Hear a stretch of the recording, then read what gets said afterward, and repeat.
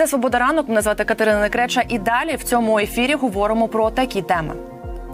Рапорт за звільнення або служба в штурмовій бригаді Людь у Дніпрі розформовують полк особливого призначення, а всіх спецпризначенців переведуть до ЗСУ. Так повідомили в Нацполіції. Чи мають поліцейські воювати в збройних силах і виконувати бойові завдання? Обговоримо далі.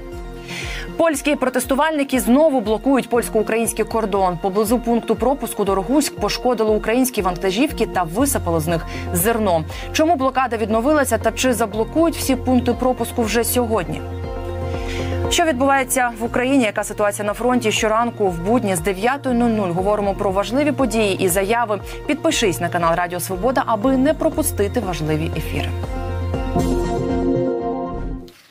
У Дніпрі розформовують полк особливого призначення. Після відмови переходити у штурмову бригаду Людь. Усіх спецпризначенців переведуть туди автоматично. А от хто відмовиться, буде змушений писати рапорт на звільнення з поліції. Про це повідомив заступник голови Нацполіції України Олександр Фацевич. Це реакція керівництва поліції на відео, яке розповсюдилось у мережі минулого тижня. На відео заступник начальника головного управління Нацполіції Дніпропетровщини Володимир Богонос сперечається із спецпризначенцями, які відмовляються переводитись в штурмову бригаду Людь. В інтерв'ю Радіо Свобода заступник голови Нацполіції Фацевич розповів, що в поліції ще минулого року отримали наказ про формування і розширення бригади Людь. Під це розширення є зброя і все необхідне. А спецпризначенці, які відмовляються, мовляв, не мають служити в поліції. Так каже Фацевич. Національній поліції та взагалі Україні не потрібен такий спецназ, який не готовий боронити державу. Бо було прийнято таке рішення.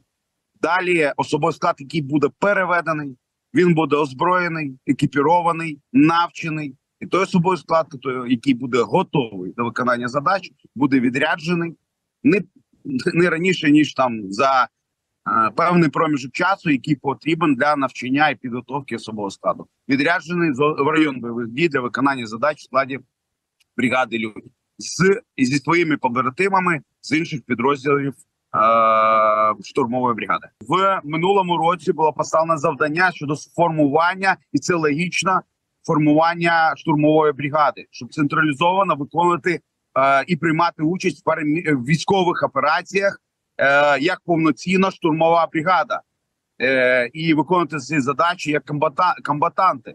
А, тому і було прийнято таке рішення, і відповідно має бригада від е, озброєння і артилерію, і танковий підрозділ, і війня. Тобто е, це логічно для того, щоб більш ефективно виконувати задачі е, і допомагати збройним силам.